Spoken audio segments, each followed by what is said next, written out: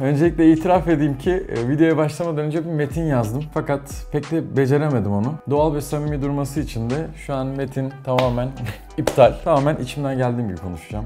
Şu iki gün rüya gibi geçiyor benim için. Yani sizinle beraber geldiğimiz bu noktada ne bileyim dışarıda denk gelip fotoğraf çekilmek, sosyal medya üzerine iletişim kurmak bunlar beni çok heyecanlandırırken şimdi ise toplu olarak sizleri bir arada görmek bu konuşamıyorum. Benim için çok tarif edilemez bir his. Ben sizi çok sıkmadan konuya girmek istiyorum. Pek çoğunuz tahmin edebiliyordur diye düşünüyorum. Ben Masal Şatosu Sihirli Davet yani bizim filmimiz hakkında konuşmak istiyorum.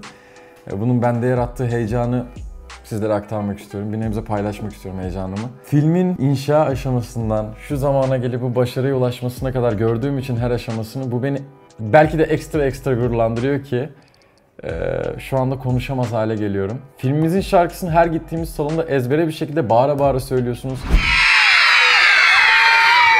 Masallara inan.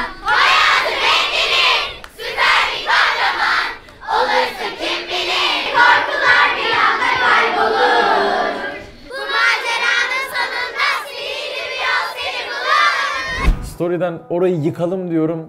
Gerçekten yıkıyoruz. Hani mecazi anlamda da kalmıyor. Gerçekten gidiyoruz yıkıyoruz 1000-1500 kişi. 3, 2, 1.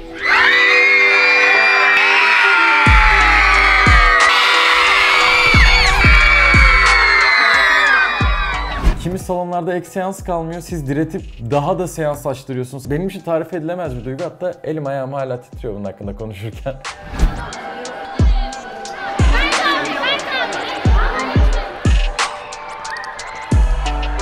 Çok duygu doluyum. Ee, bazı şeylerin büyüyüp buraya gelmesi beni ekstra heyecanlandırıyor. Yarın da gezeceğiz, ondan sonraki günde gezeceğiz. Siz bu videoyu pazar öğlen izlemiş olacaksınız. Biz de pazartesi günü İzmir'de olmuş olacağız. Yani uzun lafın kısası sizden talep geldiği sürece ve katılım gösterdiğiniz sürece biz her şehre gelmeye çalışacağız. Bundan emin olabilirsiniz. Bakın bütün ekibi topladık geldik biz.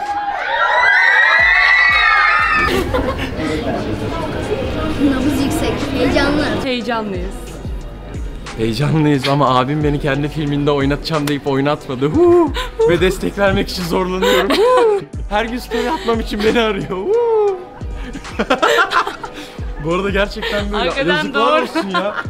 Dün 10 defa insan kardeşini arar mı story at diye ya? Ama doğru. Kardeşim siz... Bir adam varmış sonra yok olmuş.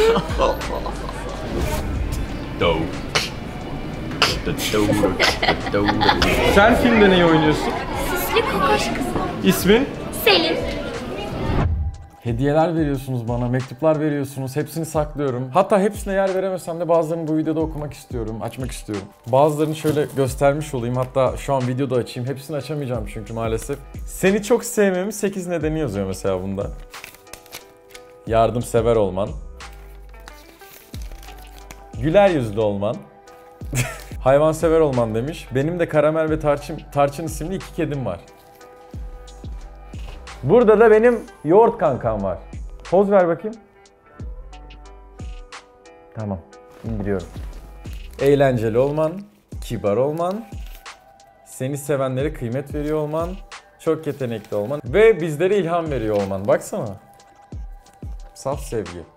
Bak burada benim için deniz kabukları toplamış. Saf sevginize gerçekten hayranım. Çok çok çok teşekkürler. Ve ben bunlar için ayrı bir içerik yapmayı düşünüyorum. Böyle video arasında sıkıştırmaktansa apayrı bir içerik yapmayı düşünüyorum. Ee, burada bazılarını gösterebildim ama hepsini okuduğuma emin olabilirsiniz. Ve hepsi o adamın en değer verdiğim yerinde olacak. Buna emin olun. Evlerinizden kalkıp geldiniz ya. Çok teşekkürler. Sizin beğeniniz benim için her zaman çok önemli. Ben de size beğeneceğinize garanti verdiğim bir film sunmak istiyorum. Onun için gönül rahatlığıyla filmimize davet ediyorum sizi bu video aracılığıyla. O zaman videoyu kapatalım. Her zamanki gibi bir sonraki videoda görüşmek üzere değil, bu sefer sinemalarda görüşmek üzere diyorum. Hoşçakalın. Kabul et havalı oldu. Kabul et. Sinemalarda buluşuyoruz.